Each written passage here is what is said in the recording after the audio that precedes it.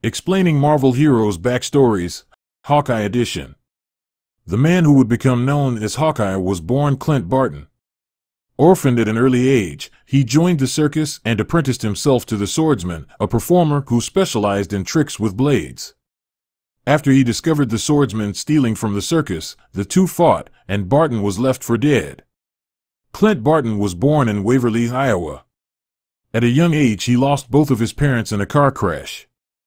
After six years in an orphanage, Clint and his brother Barney Barton ran away to join the Carson Carnival of Traveling Wonders. Clint soon caught the eye of the swordsman, who took the young boy on as his assistant. Known as the world's greatest marksman, he's mastered the bow and arrow, and the ability to transform nearly any projectile into an accurate weapon.